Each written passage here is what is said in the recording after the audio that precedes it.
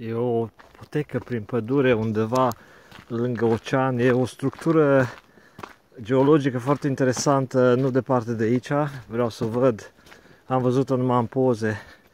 Și în drumul meu spre acea parte a oceanului m-am întâlnit cu o familie de români care a fost cam ciudat să ne vedem așa la știu, 200, nu, poate nu 200, 100 și ceva de kilometri de casă într-o zonă din asta atât de, atât de sălbatică și de, de puțin circulată de oameni.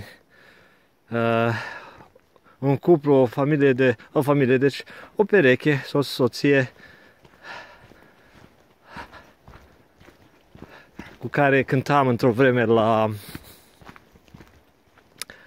la un cor într-o biserică, deci nu un cor bisericesc, ci un cor într-o biserică și am dat de ei, am stat un pic la poveste, dar trebuia să iau la pas pentru că soarele se duce și am plecat târziu de acasă. Și vreau să nu să descriu experiența cu acei români care, cum spun, e plăcut să stai de vorbă cu ei, să vezi că sunt oameni foarte de treabă cu care te dai, poate din coincidență, din greșeală, dintr-un aranjament cosmic, dar vreau să înregistrez. Mai devreme am trecut printr-o zonă plină de ferigă.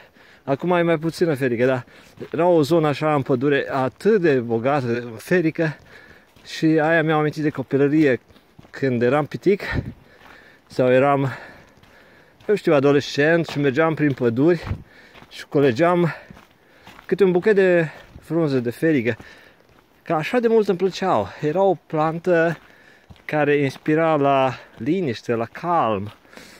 O plantă ca și salcea, și salcea era alt, altă specie de, din lumea vegetală care îmi inspira liniște.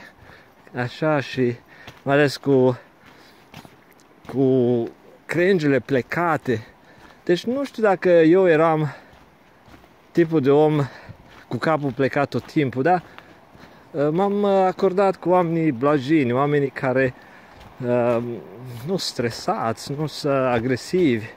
Și feriga e o plantă care trăiește la o mezeală și la umbră deci nu e nimic extravagant, e nimic ca o plantă din asta agresivă care să-ți sară în ochi.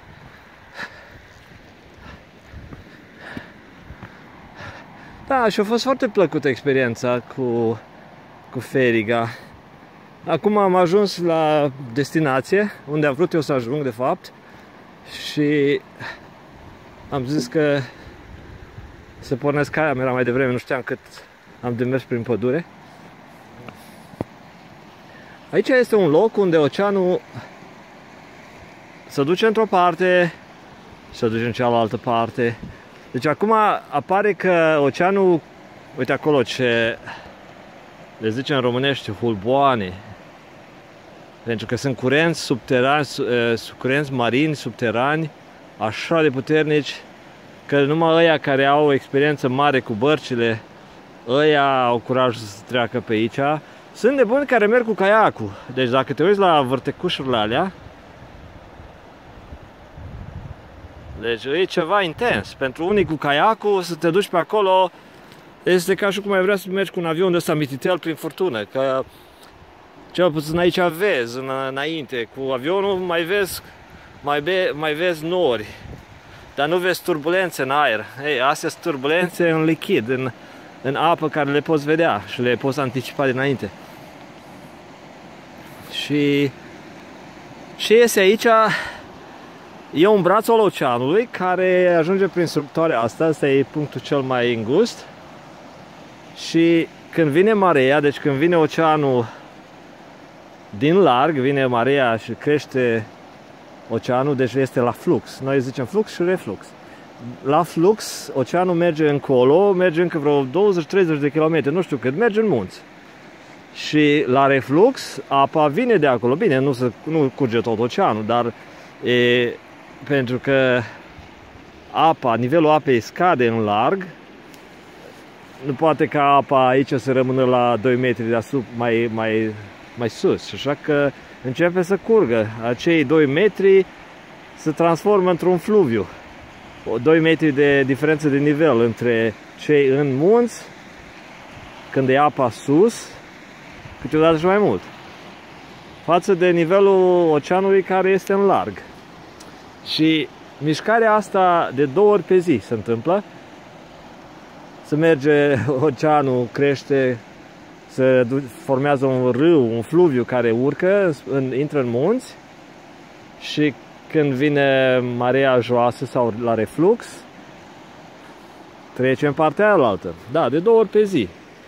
Adică la fiecare șase ore sau ceva în genul ăsta este un, un vârf și o uh, și un minim. Deci nu știu exact cum funcționează marea, că ar trebui să știu. Că sunt uh, tabele din astea ale mareei, bazate pe date astronomice, dar eu nu le consult, așa că nu pot să te bazezi pe ce zic eu acum, dar știu că uh, zice că de două ori pe zi se întâmplă chestia asta.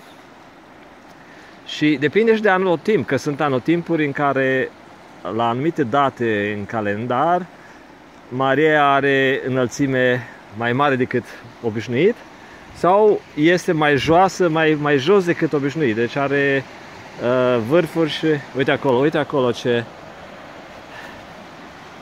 ce fenomen interesant.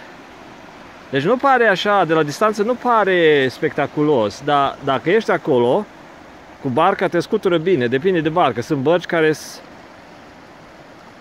care sunt prea mici pentru așa ceva, deci sunt oameni cu caiacul care merg și fac aventuri din astea că uh, aici găsești, găsești uh, ce cauți. Când cauți adrenalină, găsești.